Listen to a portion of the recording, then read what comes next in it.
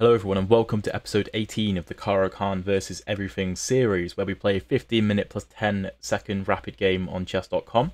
I try and explain my thought process while I play for entertainment but also to try and uh, educate you guys a bit more on my thought process while I play. I'm rated normally around 2000 so this is a bit of a rating climb account if you're not familiar with the series.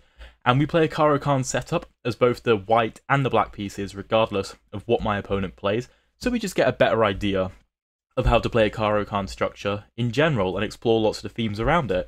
With that being said, let's get into the game. Alright, so we have the white pieces, so we're going to be starting with c3. Technically, this is known as the Saragossa opening.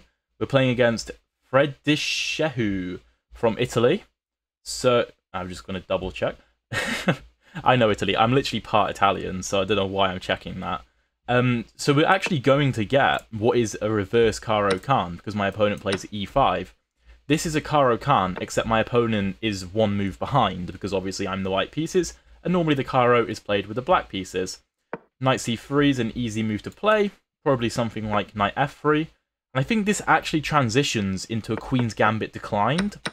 So this position on the board is the same as if we would have gone something like d4, d5, c4, e6, takes, takes. That's the exact same position. I'll show you after the game, but it's a clear transposition. And I don't know the Queen's Gambit very well at all, but we have been transposing to a lot of these kinds of positions during this series. Check out the previous episodes in the playlist below after this video if you want. I'm going to develop normally, knight f3, just, you know, take control of the central squares, right?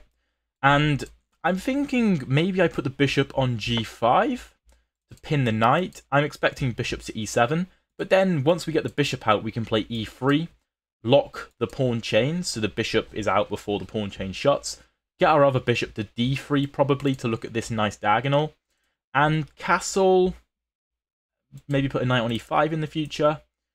That looks pretty good to me. looks pretty good. We could also always put a knight on e5 if we want, but there's no need to do that yet, I don't think. Um, we could try doing some kind of minority attack on the queen side. But for now, I think we just keep things nice and clean. Okay, bishop g4. Let's start with h3, just ask him the question. I expect him to retreat, but you might as well ask. Like, there's no harm in asking. G5 is actually quite tempting here. Sorry, G4 even. To kick the bishop back to G6 and then play knight to E5. It's very tempting. But okay, say we play G4, bishop G6, knight E5, knight D7. I don't think I want to take the bishop and allow H takes G6 to open his rook up. I don't think I want to do that. So we can hold off on it. We could just go bishop to e2. Keep things nice and easy. Um, Queen b3 is an interesting idea. Because if bishop f3, I think we might be able to take on b7. Yeah, I think so. So queen b3 is quite a nice idea to try and break the pin. And then let's say my opponent goes like queen c7, then we can play knight e5 because there's no longer a pin. So we don't have to include g4 is the point, because g4 is obviously weakening.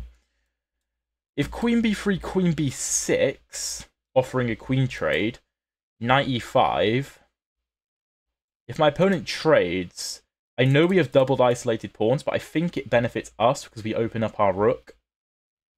And we have some active pieces there.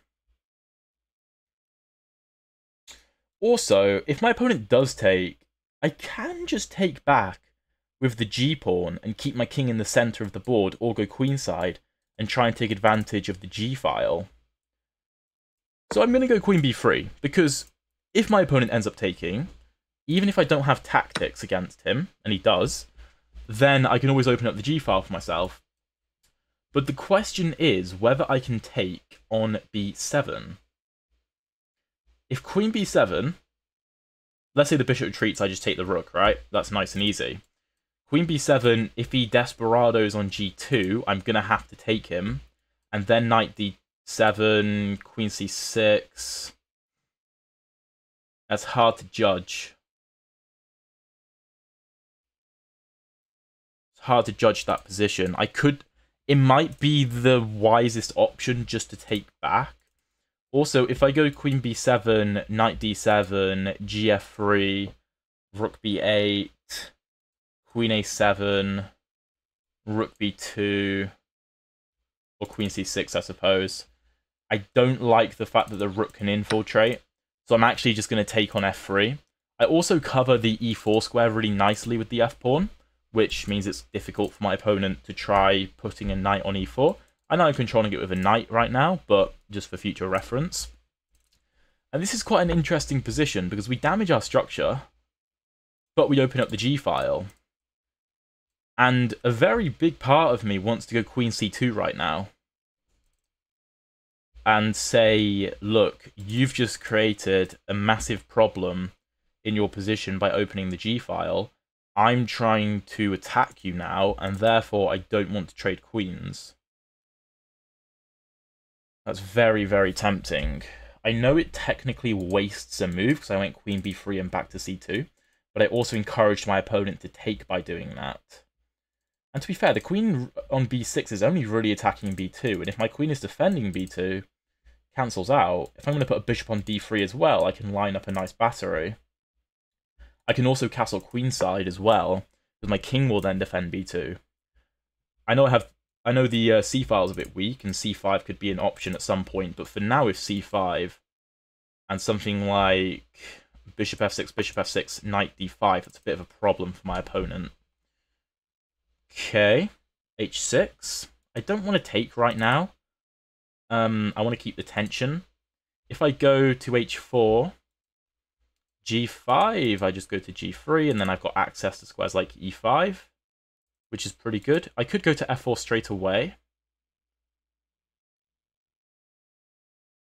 But I think if I'm going to put the bishop on this diagonal rather than this diagonal, right, then I want to induce the move g5 so I can try and strike with moves like h4 and f4. I think that makes sense. Maybe the point is Oh no, I I was trying to look at things like knight e4 with like tactics because if knight e4 the first time, then after knight e4, my knight defends my bishop, but if my bishop's on h4, it doesn't. But I don't think those tactics work for my opponent. Okay, rook g1 looks pretty good to me. My opponent might be trying to castle queenside, but I have, uh, you know, a nice a pawn to throw down the board potentially. Also, this diagonal will be quite weak. I can take advantage of that. I have the bishop pair, which could be useful. Although the board is a bit closed for the moment. Um, Rook g1 is the most natural move, in my opinion. Just getting on the open g file. Attacking an undefended pawn. So I think I shouldn't... So so I, I, I don't think I should uh, waste too much time considering that decision because I mean it's just a very easy move to play, and it can't be a bad move, just attacking a weak pawn. If my opponent goes g5 to attack my bishop and defend the pawn, then that's a pretty major weakness, like the pawn on g5, and he does it.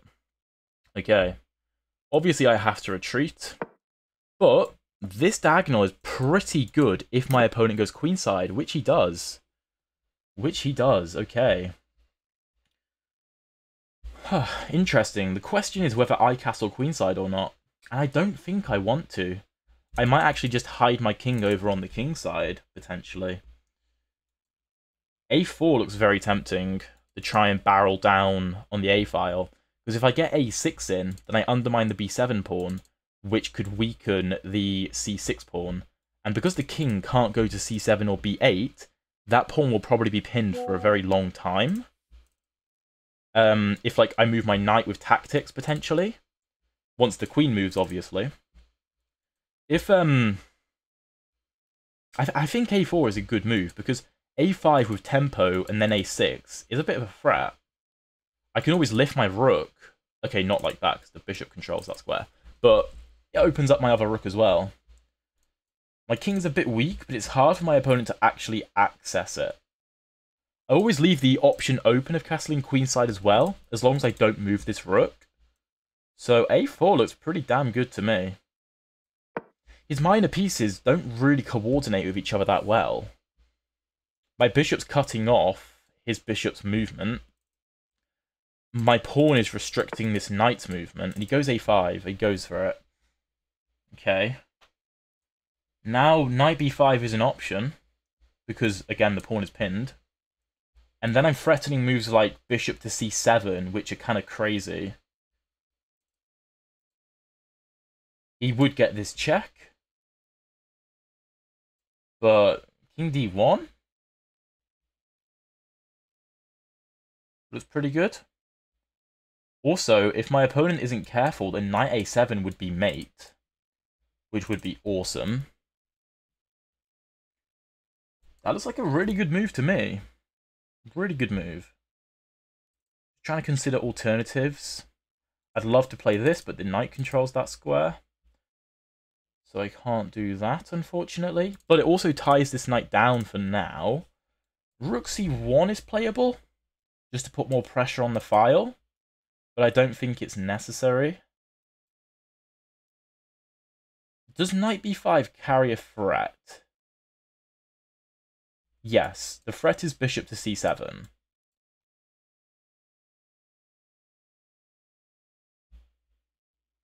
Okay, so can he defend that? You go queen a6.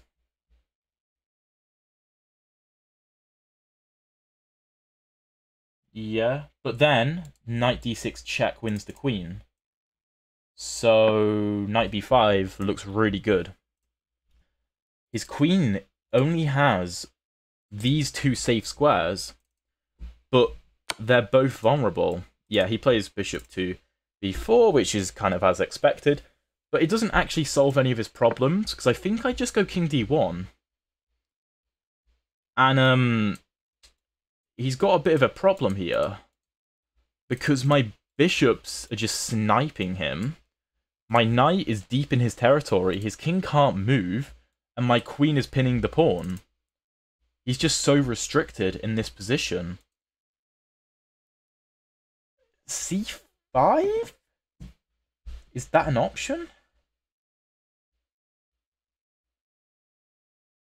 I could make discoveries with knight to d6 because the bishop wouldn't be controlling the square anymore.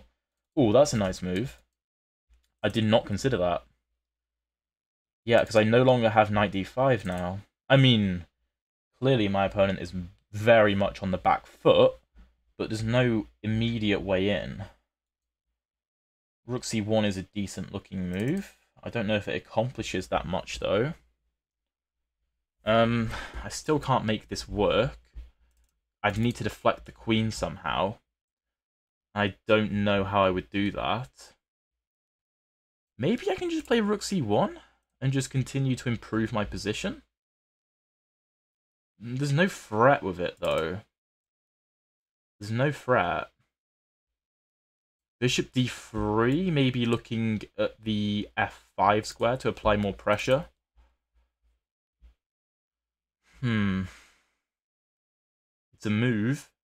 I don't know if it's that good of a move, though. But then how does my opponent improve? These pieces can't really move. The queen can't move, the rook can't move, the king can't move, the bishop hasn't really got anywhere useful to go, and the rook is just trapped in the corner. So, what's his plan? h4 could be played at some point. Maybe.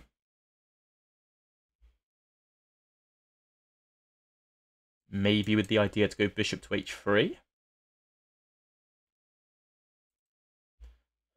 I don't know. It's a, I'm thinking of like something like this and then bishop to e5 because the knight would be pinned. But that's just a one move threat. That's not that substantial, I don't think. We clearly have a better position, but I need to figure out how to convert this. Because it's not obvious to me.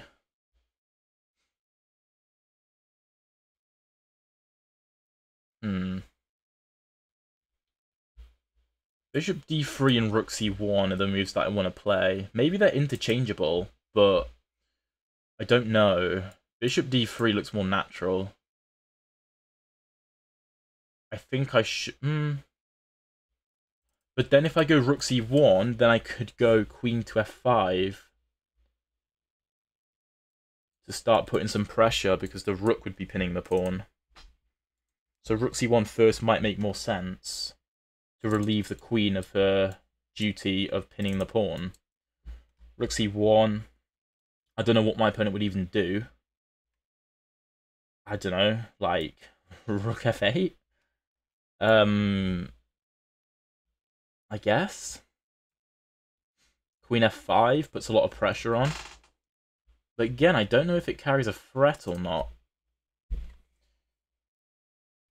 Huh, it's a tough position.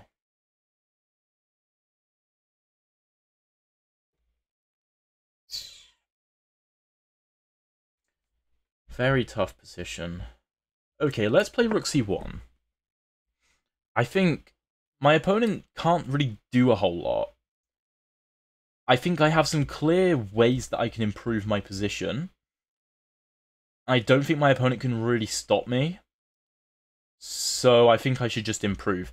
This position would be a fair bit easier if my king was over on the king side, but it's not, and at the end of the day, I can't have everything in the position. Like, my king is a bit weird on d1, but it's not actually vulnerable. I suppose c5 is less viable with my rook on c1 as well.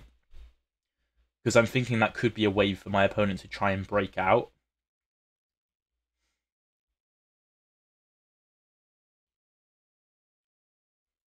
I don't even know if I would take or not. If takes, something like knight takes. Again, my opponent's in a weird position. Queen f5 might be an idea. It might be a good plan to get my queen to f5 soon, so that I can stop his knight from helping out in a potential c5 push. That might be the way that my opponent breaks out of this position. It's the most obvious pawn break. Okay, I don't think f6 does anything. It controls e5, I don't want to go there anyway. It just weakens more light squares and stops his knights from coming to f6 in the future. So I think that's actually good for me. The question is, do I want my queen on f5, or do I want to play my bishop d3 and then f5? I suppose e4 might be a move in the future, with the idea of trying to play d5.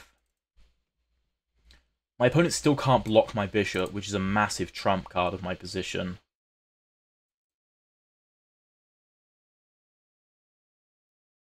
Bishop d3 I think is better with the plan to go to f5. I've relinquished defense of the knight, is that a big deal? Would I rather queen f5 and bishop d3? I don't know. I suppose queen f5 would stop c5 because the d5 pawn would hang. Okay, I, I have to decide. Do I want my bishop on f5 or my queen on f5? That's the question. I mean, I could also consider bishop d3 to g6 to take the knight so that I can play bishop to c7. That's also an idea.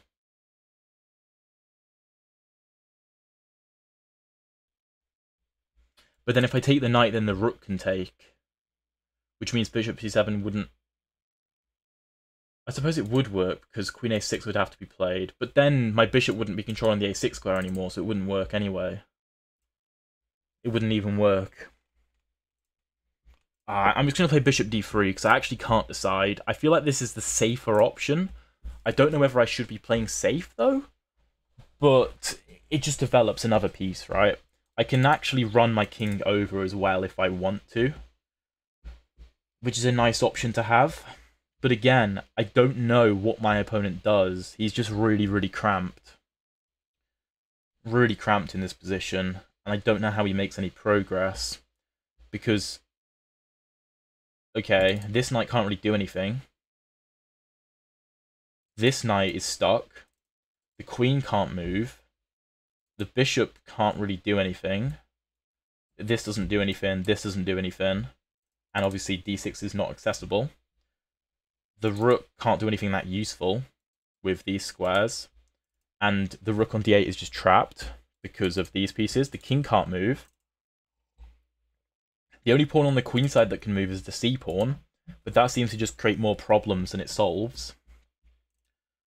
The king side pawns, I mean, you can't do this, you can't do this. If you do this, it doesn't really do anything. Because if I go bishop to f5, then g4 is not a threat. And if you try and go h5, h4, then I just retreat the bishop, and you accomplish nothing.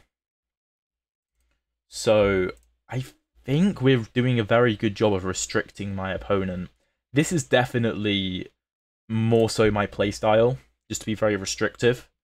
Um, not everyone plays like this, of course, but I personally like to squeeze my opponent's position to a point where they just have no viable plans. You could argue it's playing too safe, and maybe I had a better win at some point, but this is just kind of how I play chess. Oh, also, I don't know why I said rook to h7 was playable, because you literally can't go there. so, you actually only have two moves with the rook. And I think this is what my opponent is realizing. Like, he has no moves. And things could get very bad for him. I would love to be able to deflect this queen from the defense of a7, because knight a7 is just checkmate. d6 is not accessible because he has too many defenders there.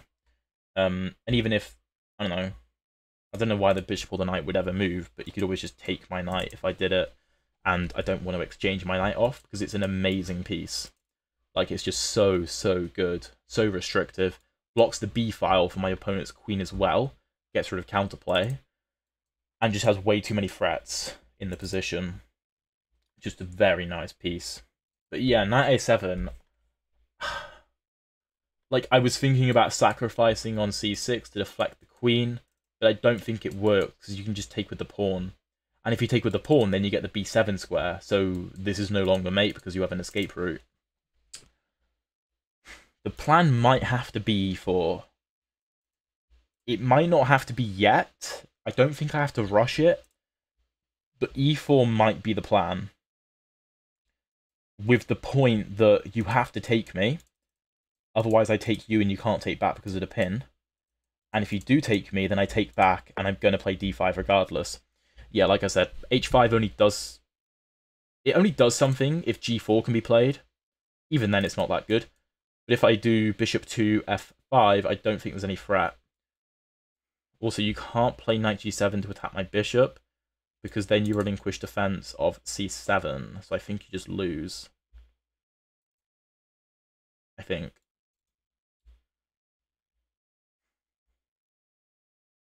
I could consider going h4, but I don't see the need to allow pawn breaks unnecessarily.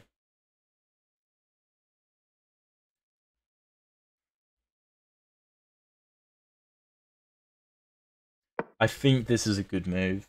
I'm not 100% sure. My only concern with it is my opponent now could play queen a6 uh, because this wouldn't be a threat. But I don't see how that actually helps him other than just wasting another move. Um, yeah, I'm not sure. Also, if queen a6 is played, the queen takes her eyes off of d4, which might make e4 easier to play. Maybe. Like I said, dream scenario is my king is on a square like h1, and I can play d I, I can play e4 with no concern whatsoever because my king king is nice and safe. My issue is if I go e4, this is kind of scary. And like this is a little bit scary. And I know my knight defends d4, but I don't want him to be able to create counterplay. And again, that might be a weakness of my game where I'm too obsessed with my opponents potentially creating counterplay that I just play a suboptimal move, but Okay, he actually plays knight g7. Right, so what if I go bishop c7? You you have to move the queen, so queen a6. You now have that square because my bishop is on f5. I could retreat the bishop to d3, which would force the queen. Or would it? Could you take the knight? If bishop c7, queen a6, bishop d3 take.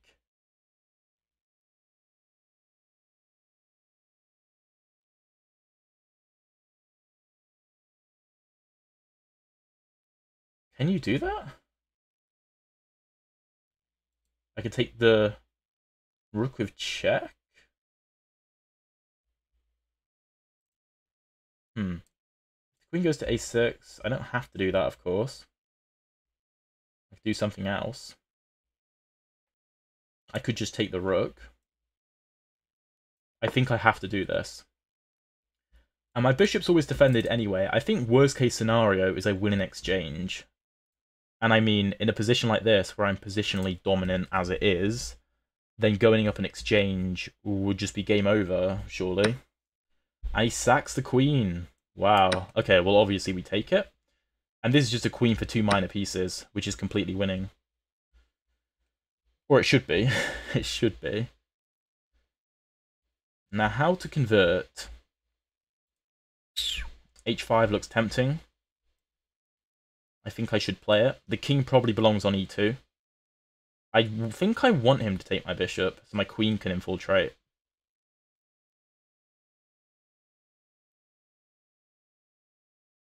I think. Yeah, let's go h4. He obviously can't take his knight hangs. This bishop I don't think is doing that much, because, I mean, the, it hasn't really got any targets, right? And I've got a strong dark squared pawn presence as well. I could have taken this knight, but I don't see the point. Let's take here. We now are technically threatening queen d5 because the c-pawn is pinned. We have pressure on g5, f6. Okay, he retreats the bishop. Surely I take on d5. And then I'm threatening a5. Right? You could try a fancy trick like knight c5, but then just queen f7, and he's in a world of hurt. So that looks good to me. Let's do it. The reason I say knight c5 is because I can't take the knight because my queen is under attack, and the knight also blocks my queen's access to the a5 pawn, which was my next target. So that's why I mentioned that move. Okay, he moves the king. Makes sense. Um, Queen b3 is safe. Something like King e6. I don't know. Maybe Queen f7 is better. Leave the king on a vulnerable square and cause some problems.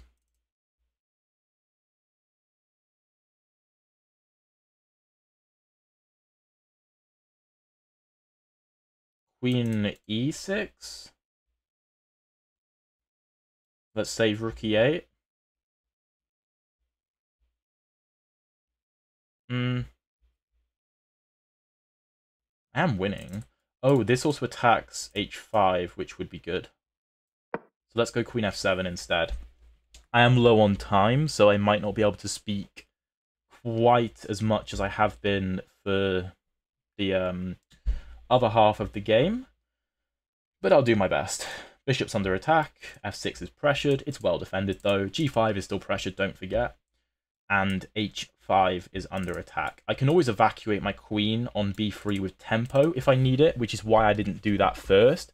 I want the option to escape with a check, um, just because it will save me a tempo potentially.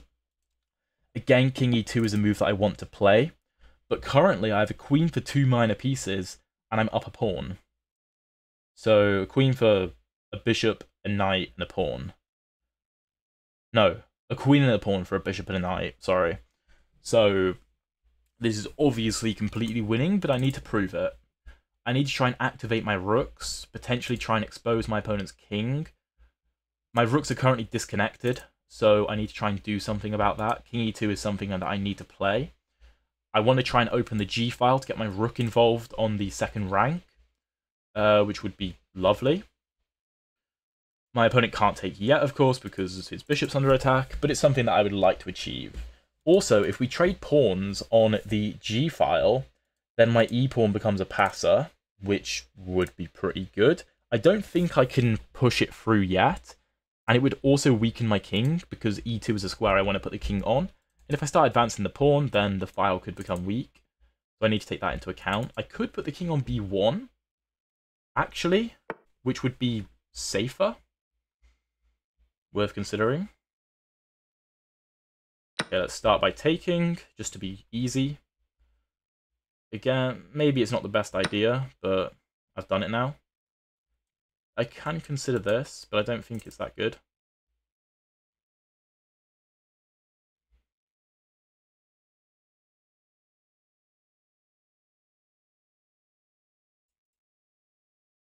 I'm going to put the king on e2 to defend f3. My opponent can't do this, because the bishop hangs, and if he does this, then the h-pawn hangs.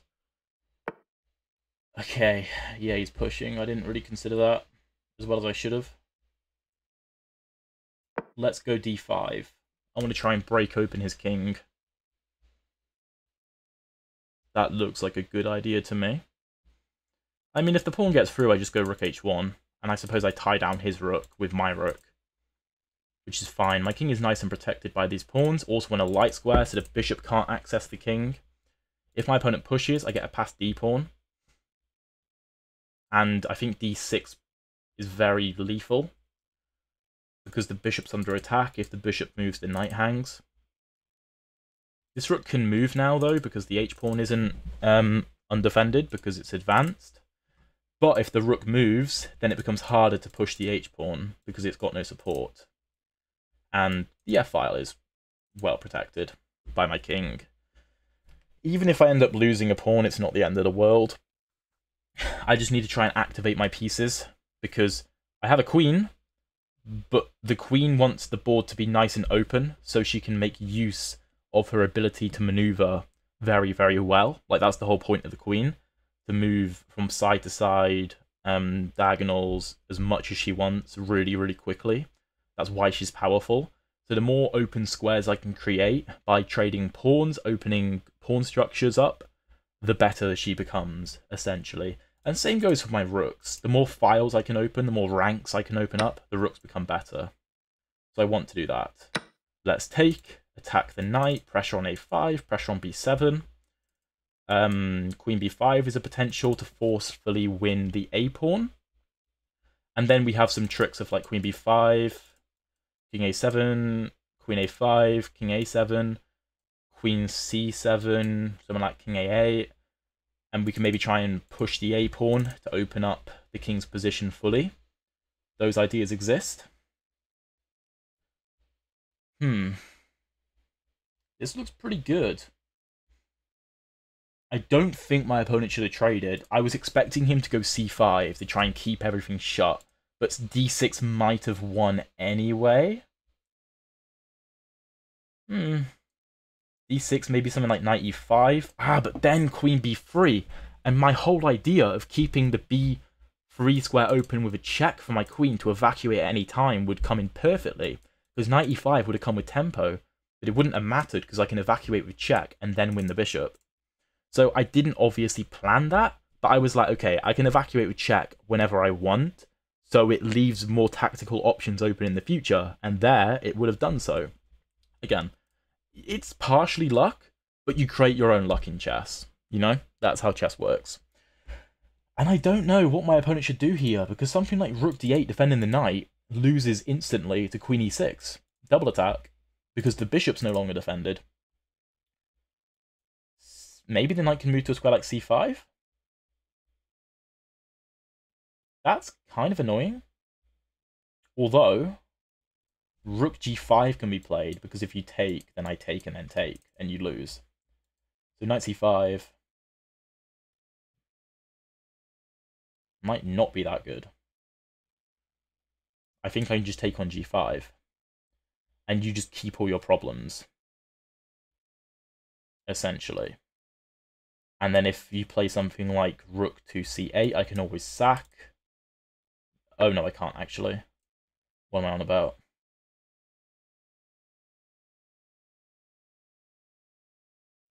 Okay, let's take on g5. Like I said, you can't take here because I pick up the knight with check and then pick up the bishop and your counterplay is gone, and he does it. That's wonderful for us. Absolutely perfect, makes this an easy conversion. He didn't have to do that, but it wasn't obvious what he was going to do. I think after king a6, we can be a bit more accurate as well.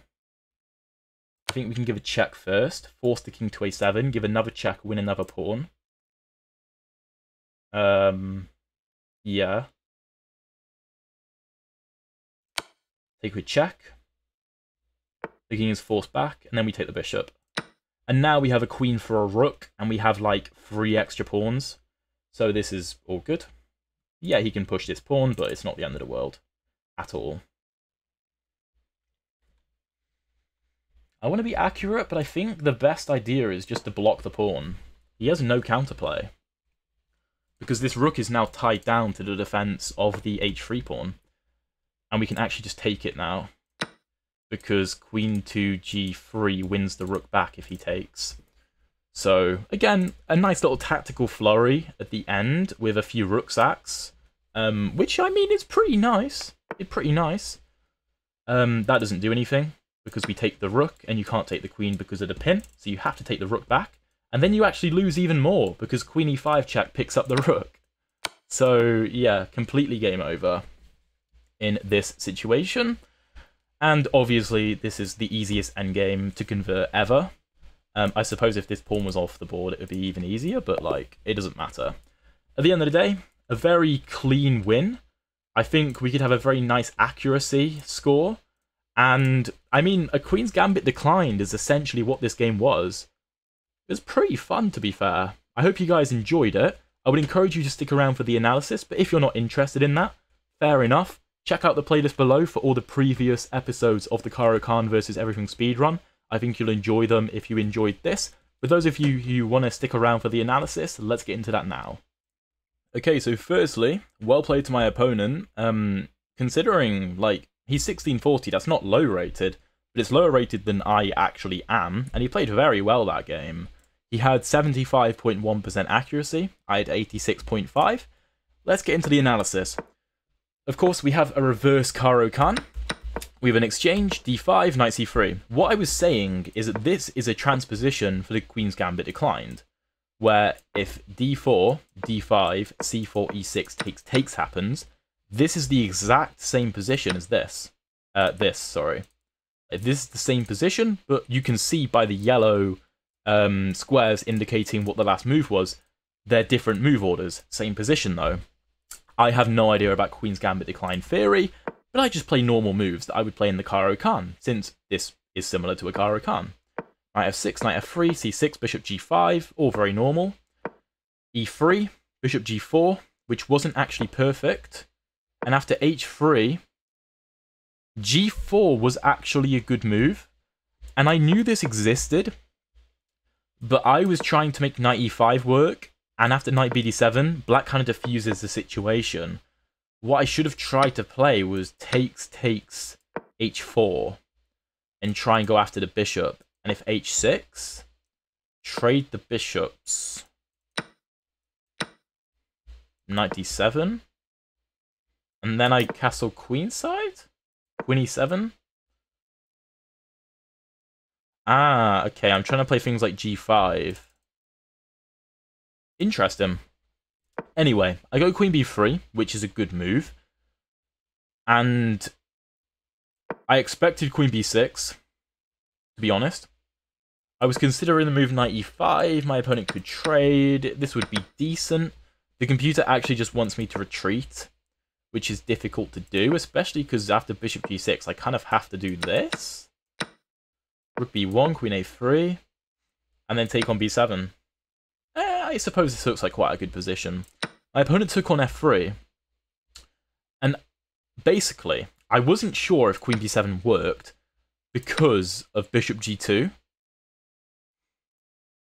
And after bishop g2, knight bd7, queen c6, something like rook c8, I wasn't sure. Apparently this is just very winning for white, but it's always difficult to know when it's a poison pawn situation or not. Like, it's hard to tell. Because my opponent could always play by a different move order. Instead of taking on g2, you go knight bd7, take, rook b8, and then after, well, queen a7, white loses the advantage. And I considered this, right? So I instead have to go queen c6, and, you know, rook b2 is scary. The computer doesn't think so, because I can not take with the knight, because I can't. I do this, and I'm just up two pawns, and I don't care, but, like, the computer's a computer, and it's not emotional, it has no fear. I have fear. So I take the safer option. Not necessarily the best move, but an easy move. After queen b6, queen c2 is the best move by far, so I'm very happy that I found that. Because I don't want to trade queens with my opponent. I've just doubled my pawns on the king side to allow me to open up the g-file. So if my opponent castles king side, I want to be able to attack him. And to be fair, I did attack him in the game. And having the queen was very, very useful. Because she held down the c-file for me h6, I retreat the bishop. Knight bd7, rook g1, g5 is a mistake. So, yeah, I didn't think it was the best. My opponent's supposed to castle, though, and that is so difficult to do. Just castling into the line of fire. Like, look at all this. My bishop's probably going to come to d3. I suppose the point is there's no pawn break for me on the g-file, but this is still tough to do, and white is still better. So g5, retreat the bishop, castle, the issue my opponent created for himself is he can't challenge my bishop. Because this bishop can't get to d6. Which means his king can't move. And it just created problems for him. I went a5, which is a mistake. Okay, but only for a very weird reason. I would encourage you to try and find the reason that a5 is not the best plan of action. This is really tough to see. So, like, very well done if you can find it. I don't think I would have found it. The move is queen a5. And the point is, I'm supposed to play a3 to go b4 and b5 to stop queen a5. Because if queen a5 is played, I can't advance my a-pawn. And my attack fizzles out. If I try knight b5, then I'm just pinned, so I can't even do that. But my opponent goes a5, which is the more natural move, I think. I go knight b5, which is a slight inaccuracy, Bishop d3 and castle queenside were better, but it's still good. Bishop b4, king d1. Best response. Uh, of course, you don't want to go king to e2 and block your bishop. Knight to e8, I think was the only move. Yeah, the only move that doesn't lose. Because let's say you do something like this. Then bishop c7 attacks the queen. The queen sacrifices herself, or goes to a6. And then knight d6 check, bishop d6, bishop a6, king c7, and then like, I don't know, Actually, rook c1's better because you can't take the bishop because of queen c6. But even something like bishop d3 and white is up a queen for two minor pieces, which is what happened in the game. So knight e8, rook c1, which was actually the best move. I consider queen f5. It's the second best move. Bishop d3 isn't quite as good.